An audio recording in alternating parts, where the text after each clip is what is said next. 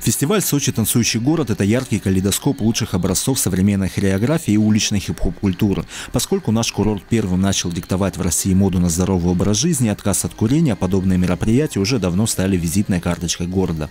Цель нынешнего фестиваля – объединить сочинские танцевальные коллективы, познакомить жителей и гостей курорта с уличной культурой и побить своеобразный рекорд по количеству в одном отдельно взятом месте танцующих людей.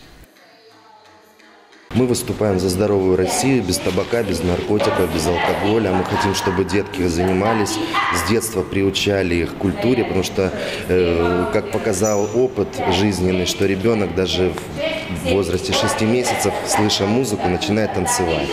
Вот. И мы хотим, чтобы детки занимались после школы, в свободное время уделяли этому время. Я занимаюсь 4 года.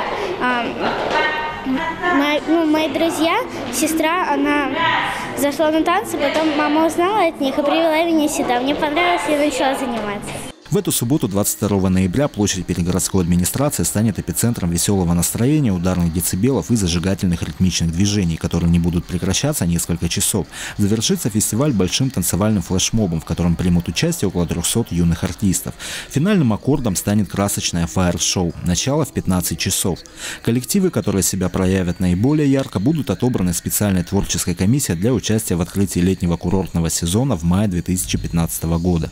Игорь Кыр по телекомпании компания ФКТ.